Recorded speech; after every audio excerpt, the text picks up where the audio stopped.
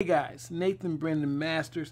I didn't have a lot of time today, but I did have this, and this one's gonna be a straight banger because you all know what this is. This is Tom Cruise from Risky Business, and some of you probably already know where I'm going with this classic Mandela effect, classic Mandela effect, and that is Tom Cruise in Risky Business with the shades. That's right, with the shades. Now, everybody sees this when they think on this, they think back, they go, he had on shades in that. He had the cool shades, he's doing the cool moves. He's a cool guy. And uh, you guys probably know I'm using stills because this has, uh, the actual video has uh, audio and visuals that are uh, copywritten and yeah, it, it could be a problem, even though this would be considered fair use. So we're just going to skip all over that and just jump to the main point. Now, this is actually a recreation of this scene from a company called Romthirty, and they do visual effects. I'll put a link in the uh, description, and you can go check it out. They did the scene with the shades. They put the shades on him. But this is what the scene is. And I tried to get the best screenshot here uh, that I could with it being in motion. I tried to get the, the same shots. But what you can tell is that he's not wearing shades in this clip, and this is the actual clip. Now, the thing about this is I've only seen Risky Business once, okay? I, back in that day, I was not a huge Tom Cruise fan. Uh, as a matter of fact, the only time I even watched a Tom Cruise film before Mission Impossible was uh, Interview with a Vampire. And then uh, he did Mission Impossible, and I was kind of like, oh, this is going to be some bullcrap. And then I saw Mission Impossible, and I was like, oh, oh, he, he, he pulled that off. That was that was pretty good.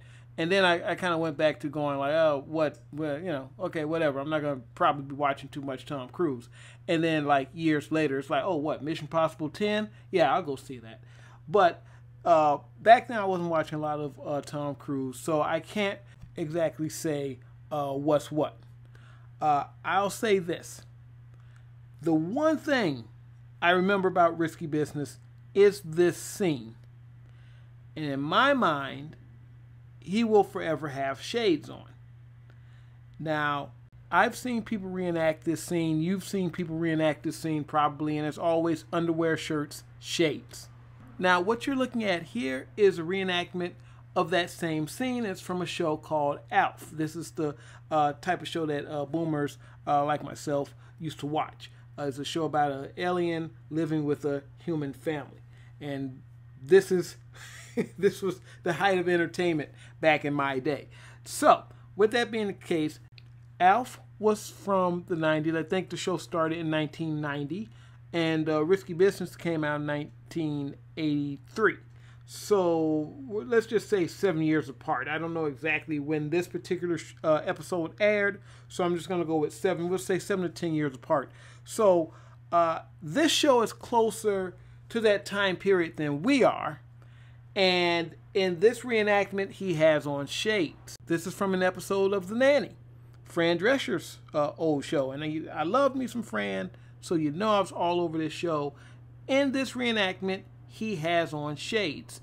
In fact, there's a whole video that shows reenactments of this, basically showing that everyone who reenacted this had on shades as part of the reenactment. So this is some more of that residue. We talked about that residue, and uh, they're literally showing this for the same reason I'm talking about it. it, is because, you know, where'd the shades go?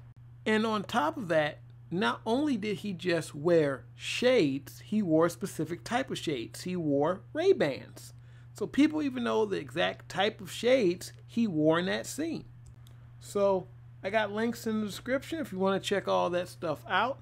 Also, there's a link in the description to Hexcraft Mechanics 2. This is a 56 page urban fantasy action comic written and drawn by me. So if you want to see some supernatural butt kicked and names took, this is probably where you want to go. Alright guys, you take it easy. Nathyn Brendan Masters. I'll check you tomorrow. Hasta. Don't look back, we're here to stay. A life we knew would come one day. And this is it, the borderline where the future leaves us behind. The fire will burn and never die. Looking through the eyes of a brand new life. It's so